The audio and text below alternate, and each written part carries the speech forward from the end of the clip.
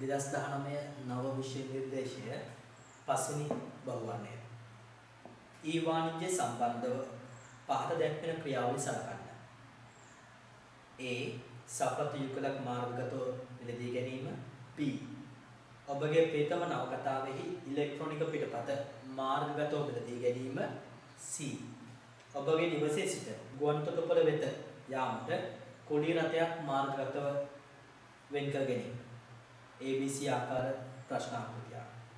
ඉහත ක්‍රියාවලිය අතරින් කවරක් පියෝ ක්ලික් ව්‍යාපාර ආකෘතිය නිරූපණය කරයිද?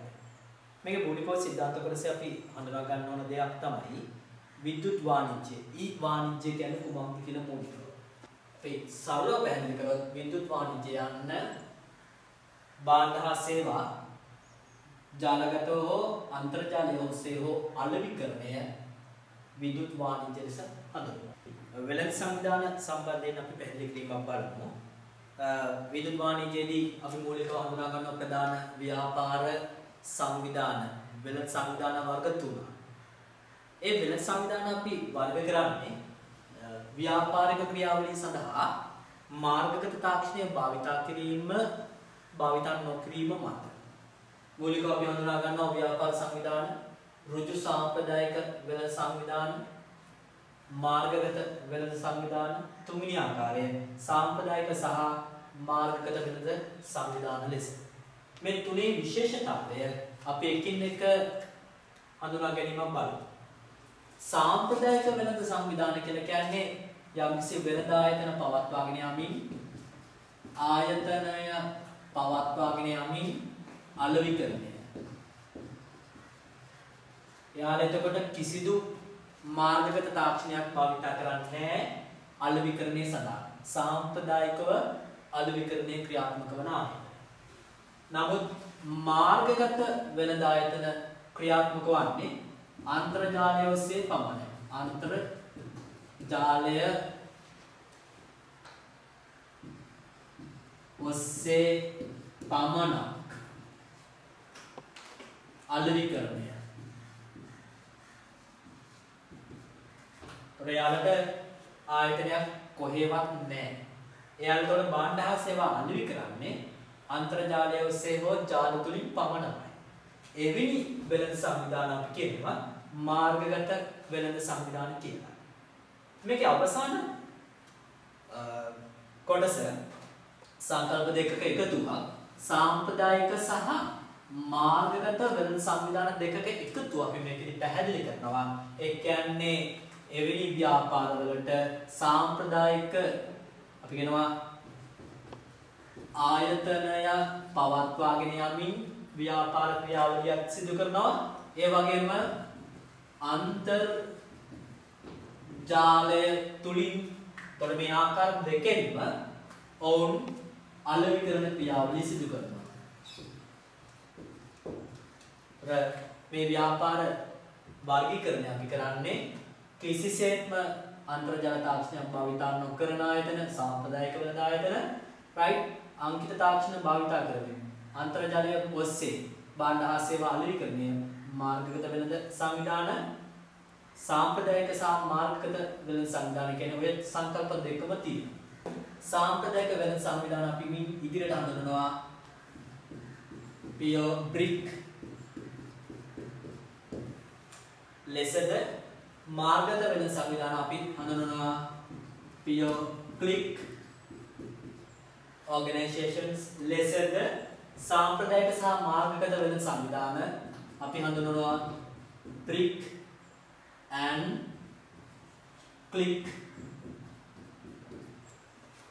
ව්‍යාපාර ලෙස. දැන් අපි ප්‍රශ්න දලව ප්‍රතිචාර පිළිබඳව අපි අවධානය යොමු කරමු. A B C ප්‍රකාශන අතුරින් අපි තෝරා ගන්න ඕන පියෝ ක්ලික් ව්‍යාපාර ආකෘතිය.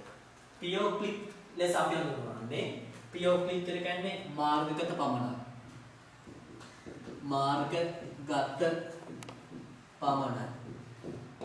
තොර සම්පූර්ණයෙන්ම වෙළඳ ක්‍රියාවලිය සිදු වෙන්න ඕන අන්තර්ජාලය ඔස්සේ පමණයි. නිසා සාම්ප්‍රදායික වෙළඳ ආයතන භාවිත කිරීමක් අදාළ වෙන්නේ නැහැ. දැන් බලන්න. සපත්තු යුගලක් මාර්ගගතව මිලදී ගැනීම. නමුත් සිසුවෙකු යම්කිසි ආකාරයකින් අපහසුතාවයකට පත් වෙනවා මේ වගේ වචන අන්තර්ගත වීම මත මෙතෙන්දී මාර්ගගත වචනේ තිබූ පමණින් සිසුවෙක් තෝරා ගන්න පුළුවන් ඒක පියෝ ක්ලික් කියන. නමුත් මතක තියාගන්න සපත්තු යුගලක් කියන සංකල්පය සපත්තු යුගලක් මිලදී ගන්න පුළුවන් ආකාර දෙකක් අපි හඳුනා ගන්නවා. ව්‍යාපාරික ආයතනයකට ගිහිල්ලා මිලදී ගන්නත් පුළුවන් අන්තර්ජාලය ඔස්සේ මිලදී ගන්නත් පුළුවන්. ඒ නිසා මේක කිසිසේත්ම මේ ක්‍රියාවලිය මාර්ගගත පමණක්ම වෙන්නේ නැහැ. ඒ නිසා පියෝ ක්ලික් පමණක්ම වෙන්නේ නැහැ. වෙළඳ ආයතනයකට ගිහිල්ලා මිලදී ගත්තොත් ඒක බ්‍රික් වෙන්න පුළුවන්. පියෝ බ්‍රික්. අන්තර්ජාලය ඔස්සේ නම් ක්ලික් වෙන්න පුළුවන්. මේ දෙකම වෙන නිසා රයිට් අපි තුන්වෙනි වෙළඳ ආයතන සංකල්පයට යන්න වෙනවා. ඒ නිසා මේක නිසි නිවැරදි පිළිතුර කියලා අපිට ගෙනීමේ හැකියාවක් නැහැ. B ප්‍රකාශය ඔබගේ ප්‍රියතම නවකතාවෙහි ඉලෙක්ට්‍රොනික පිටපත මාර්ගගතව මිලදී ගැනීම. මේකෙදි පැහැදිලි කිරීමක් කරන ඉලෙක්ට්‍රොනික පිටපත. රයිට් ඒ කියන්නේ e-book එකක්. තේරුම් ගන්න ඉලෙක්ට්‍රොනික පිටපතක් වෙළඳ ආයතනයකට ගිහිල්ලා මිලදී ගැනීම හැකියාවක් අවමයි. ඒ නිසා වෙළඳ ආයතනයකින් ඉලෙක්ට්‍රොනික පිටපතක් සපත්තුවක් මිලදී ගන්නවා වගේ ගන්න බෑනේ. ඒතර ඒක ඉලෙක්ට්‍රොනික පිටපත ලබා දිය හැකි වඩාත්ම පහසුම ක්‍රමවේදය තමයි අන්තර්ජාලය. ඒ නිසා මෙන්න මේ නවකතාවේ ඉලෙක්ට්‍රොනික පිටපත අන්තර්ජාලය ඔස්සේ මිලදී ගැනීම පමණයි කරන්න පුළුවන්. ඒ නිසා මෙන්න මේ B ප්‍රකාශය අපට හඳුන්වන්න පුළුවන් right pure click ආකාරයේ ව්‍යාපාරයක් ලෙස.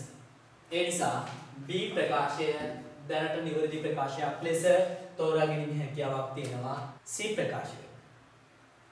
ඔබගේ නිවසේ සිට ගුවන්තොටුපළ වෙත යාමට කුලී රථයක් මාර්ගගතව වෙන් කරවා ගැනීම. ගුවන්තොටුපළ වෙත යාමට කුලී රථයක් මාර්ගගතව වෙන් කරවා ගැනීම.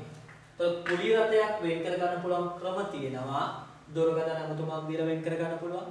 නැත්නම් කුලී රථ රීදුරා හමුවෙන්ට ගොස් ඔහු එක සාකච්ඡා කළ කුලී රථයක් වෙන් කරවා ගන්න පුළුවන්.